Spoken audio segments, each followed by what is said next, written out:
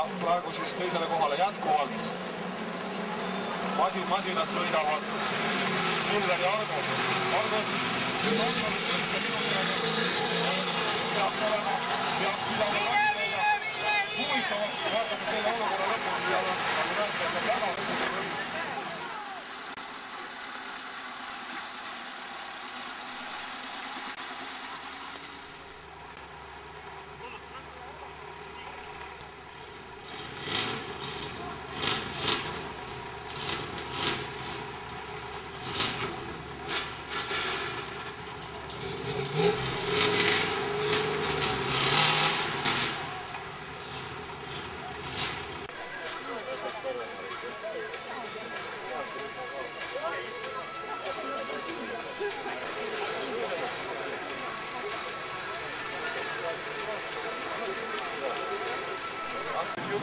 nii, ja tsirkus, nagu siin mõni inimene ütleb tänase asja kohta, eks ta kisub ka sinnapoole natukene, tsirkus jätkub. siis ma vaatasin, et keegi tegi vale stardi, aga endaga ebanenud midagi, vale auto teinud, mingisugune muu auto.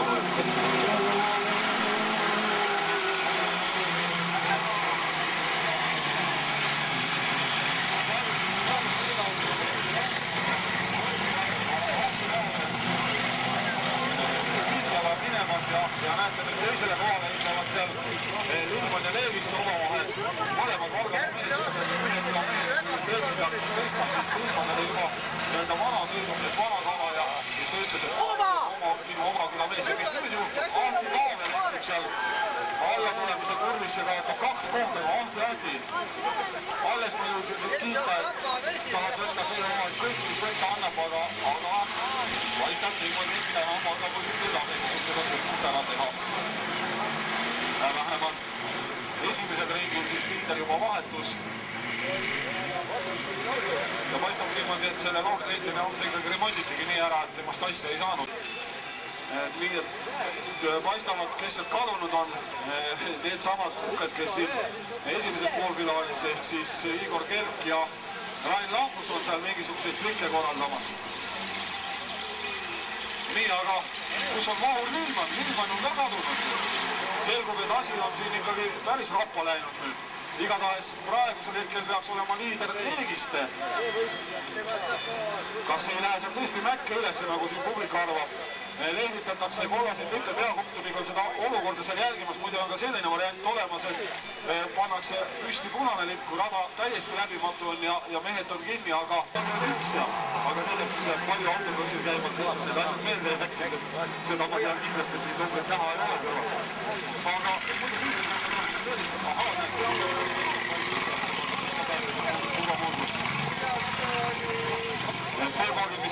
aeglaselt sõidab, see peaks olema number viis ja see on suhteliselt selgesti näha, see number viis, aga aga auto on ka mingil määral jälle kannatada saanud, nii et jääb seisma. no täna on siin sihuke, seda nii saab nimetada keskmisvõidusõiduks või sihukeseks kannatuste rajaks.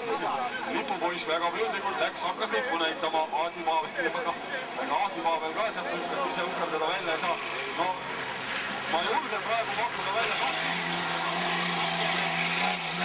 on suhteliselt kiire hooga sõidab Marek Leviste ja see mees, kes aeglaselt hästi sõidab, aga nüüd käigu sisse sai vist lõpuks, lõpuks, lõppude lõpuks Ahti Paavel. Nemad on esimene, teine, kes on kolmas, selle kohta ma ei oska öelda. ei ole sugugi välistatud, et kolmas mees on järsku see lätlane number kuuskümmend seitse.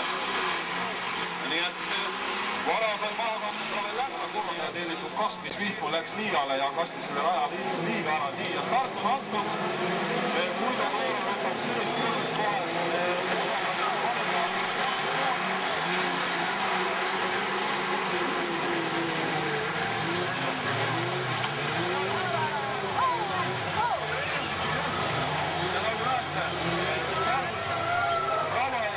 mis asja, kas täna tuleb järjekordne suur üllatus. seda, et Uno Leimanist nüüd liidriks läheb, ei osanud küll keegi arvata. teavad, et Uno isegi täna hommikul siia tulles ja, ja pikalt liidriks kohe esimeses kurvis on see suur edu niimoodi üksinda välja tulla. Indrek Järvõld üritab siis oma kuldmedalit nii palju kindlustada, kui vähegi saab siin täna, aga ei õnnestunud praegu mööda pääseda Guido Kloonetist. Ja üllatusliider Leimanis Lätimaalt teisel kohal, Guido Kloonet kolmandaks taas pärast seda, kui stardisõidul oli eksinud, on tõusnud Tarmo Ilves, neljas Indrek Järvel ja mis asja teeb nüüd Tarmo Mindis number kümme.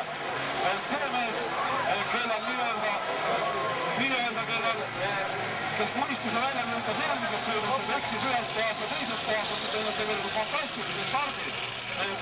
no kas ta nüüd suisa viimases reas või ikka väga-väga otsas on ta tõusnud, näete kuhu. nii, siin nüüd kaks Lääne-Virulast ja üks Erlamees uhkerdavad kolm.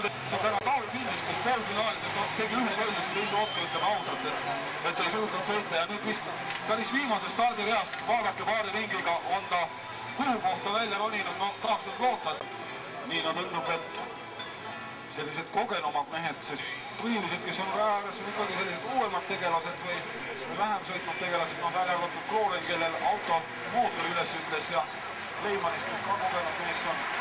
aga Leimanis on muidugi päris tõsine probleem tekkinud sellega, nagu ma, enne ütlesin, et generaator, mis tuleb autol natukene nässus ja ainult aku toel pidavad sõitma ja selle jamaga siin võis, võis ka nii-öelda elekter lihtsalt ära kaduda.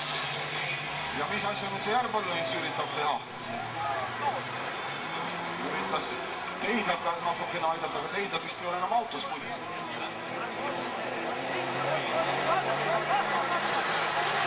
nii ja Indrek Järvel läheb seda